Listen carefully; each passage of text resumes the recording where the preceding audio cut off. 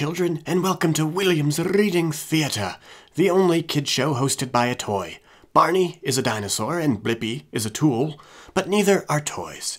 We are all, however, slaves to the mighty dollar. And, speaking of capitalist pigs, I shall now tell the tale of the three little piggies. This little piggy rented a house made of hay. It's all he could afford. This little piggy bought a house out in the sticks. He saved so hard. This little piggy got a nice third level walk up. He came from money. This little piggy said nay to all of that and got on a boat and sailed into international waters. But less about him and more about the other three. Now, there was this wolf. Real asshole. You'd hate him. He went to the first piggy and said, I am your landlord. You can't afford rent, so whoosh. He went to the second piggy and said, I am the bank, and you owe me a mortgage. The piggy was like, What? And the wolf went whoosh. He then went to piggy number three and said, Time is a concept, I am a god, and Game Boy Advance is the best one they ever made.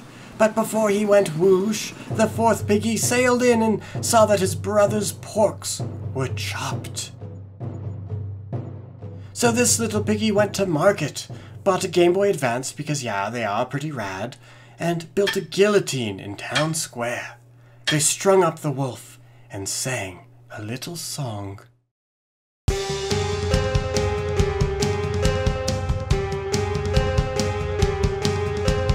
blew my house down, made a whoosh sound. So I looked around town, found a wolfie, I strung him up. Found a wolfie, so I strung him up. I found a wolfie, so I strung him up. They call me Notorious P.I.G. Gonna drive around in the 1933 Ferrari. Look at me in the eye, now my style's for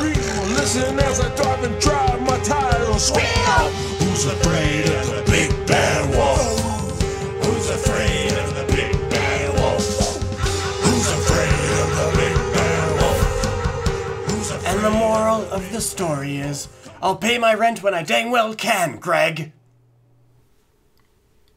Well, that's that. Now, we just have time for one fan letter. James Campton says William, your show makes Reading Rainbow look like fing Blippi.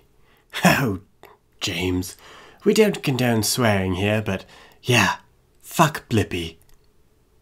And children, we'll see you next time on another exciting chapter of William's Reading Theatre as we tell the tale of Rumpelstiltskin.